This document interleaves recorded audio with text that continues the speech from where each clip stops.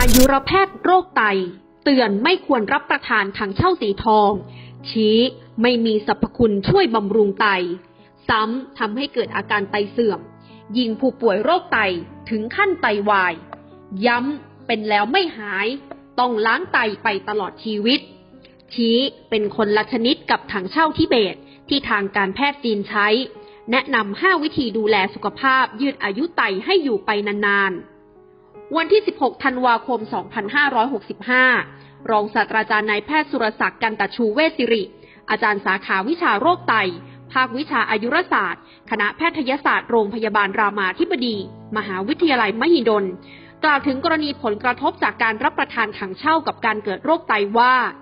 ในทางการแพทย์จีนนั้น จะมีการพูดถึงถังเช่าทิเบต ที่เป็นหญ้าหนอนชนิดหนึ่ง โดยระบุถึงการช่วยเรื่องของสมรรถภาพทางเพศ ชะลอวัยต่างๆ รวมถึงรักษาสมรรถนะและบำรุงไตให้ดีขึ้น แต่ถังเช่าที่คนไทยรับประทาน ไม่ใช่ถังเช่าทิเบตที่หาได้ยาก แต่เป็นถังเช่าสีทอง ซึ่งเป็นหญ้าหนอนคนละตระกูลกัน ที่มีการเพาะเลี้ยงขึ้น ไม่ได้เกิดขึ้นตามธรรมชาติ ยังไม่เคยเห็นการศึกษาถึงสรรพคุณต่างๆ ที่สำคัญทางการแพทย์จีน ก็ไม่ได้แนะนำการใช้ถังเช่าสีทองแต่กลับมีการเอาตัวนี้มาทำเป็นผลิตภัณฑ์เสริมอาหารต่างๆ แล้วไปอ้างสรรพคุณรักษาและป้องกันโรคต่างๆ ซึ่งหากเป็นผลิตภัณฑ์เสริมอาหาร ไม่สามารถโฆษณาอวดอ้างสรรพคุณการรักษาหรือป้องกันโรคได้ รองศาสตราจารย์นายแพทย์สุรศักดิ์กล่าวว่า จากการดูแลผู้ป่วยโรคไตของโรงเรียนแพทย์หลายแห่งพบว่า ผู้ที่รับประทานถังเช่าสีทองบางคน มีอาการไตแย่ลง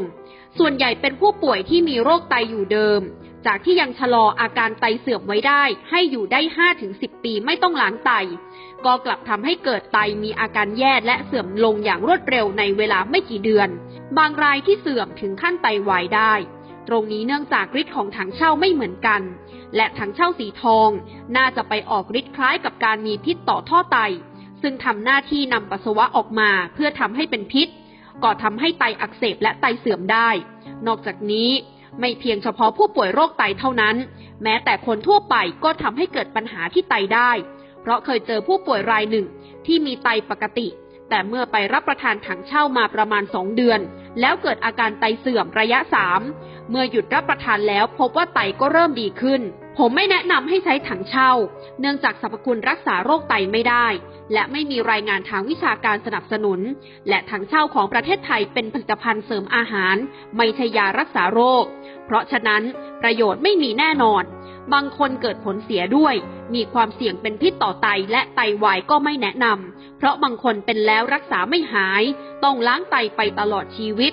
รองศาสตราจารย์นายแพทย์สุรศักดิ์กล่าว สำหรับการปฏิบัติตนเพื่อดูแลรักษาไตให้อยู่กับเราไปนานๆ คือ 1. ระมัดระวังเรื่องการรับประทานยา เนื่องจากไตเป็นอวัยวะที่ขับสารพิษออกจากร่างกาย และยาหลายตัวเป็นยาพิษก็สะสมที่ไต ถ้าไม่จำเป็นไม่ควรรับประทานยา โดยให้รับประทานเท่าที่จำเป็นตามที่แพทย์หรือเภสัชกรแนะนำเนื่องจากเราไม่ทราบว่าจะแพ้ยาตัวนี้หรือจะมีพิษต่อไตหรือไม่